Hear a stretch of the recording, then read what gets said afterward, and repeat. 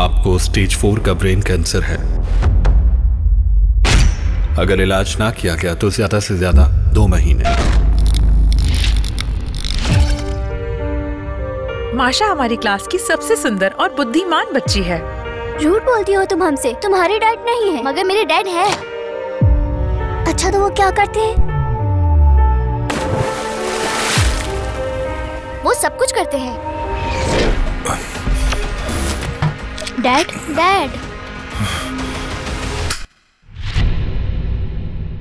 Dad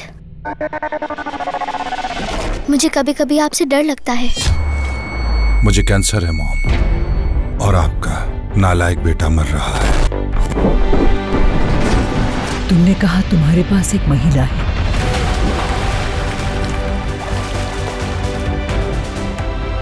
कुछ छुपा रहे हो मुझसे? क्यों छुपाऊँगा मैं?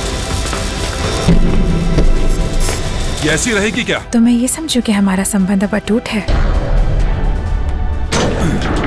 क्या वो तुम्हारे चले जाने के बाद लड़कियों की देखभाल कर पाएगी? मुझसे कभी दूर मत जाना। कभी नहीं जाऊँगा। कभी भी नहीं। अब हम अपने गिफ्ट्स लेकर आ रहे हैं।